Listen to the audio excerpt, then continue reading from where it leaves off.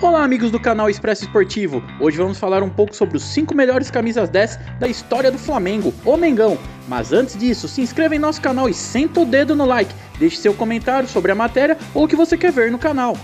Dida Edivaldo Alves de Santana Rosa nasceu no dia 16 de março de 1934 e foi o primeiro grande camisa 10 do Flamengo.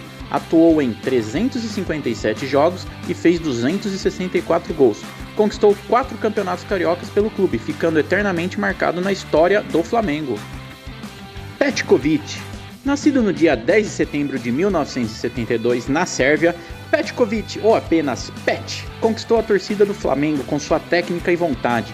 Disputou 198 jogos e marcou 57 gols, conquistando 7 títulos, o mais importante, o Campeonato Brasileiro de 2009, onde foi um grande destaque.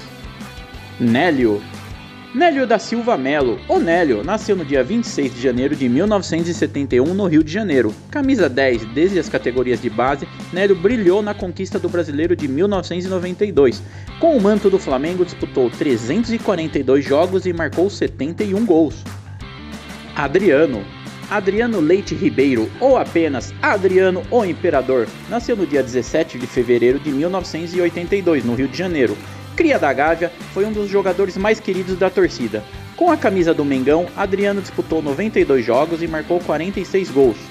Campeão carioca duas vezes e campeão brasileiro em 2009.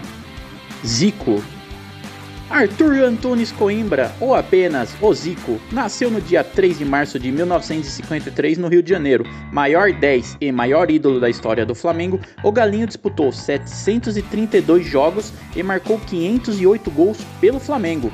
Conquistou 4 campeonatos brasileiros, 7 títulos cariocas, além da Libertadores e do Mundial de Clubes.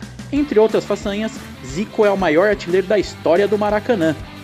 E você, torcedor rubro-negro, concorda com a nossa lista? Acha que ficou faltando algum camisa 10? Deixe seu comentário para nós sabermos a opinião de vocês. Um grande abraço e até o próximo vídeo.